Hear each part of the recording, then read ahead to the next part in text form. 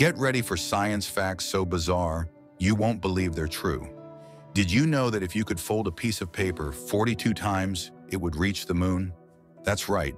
The thickness would extend 238,900 miles. Here's another one. There are more trees on Earth than stars in the Milky Way. While our galaxy has about 400 billion stars, Earth has over 3 trillion trees. Think that's wild? A teaspoon of a neutron star would weigh as much as all the humans on Earth combined. That's because neutron stars are so dense, their atoms are literally crushed together. And get this, honey never spoils. Archaeologists have found 3,000-year-old honey in ancient Egyptian tombs, and it's still perfectly edible. Finally, the human body contains enough carbon to make 900 pencils, enough iron to make a 3-inch nail, and enough phosphorus to make 2,200 match heads. We're literally walking chemistry sets. These facts sound unbelievable, but they're real. Don't take our word for it. Look them up yourself.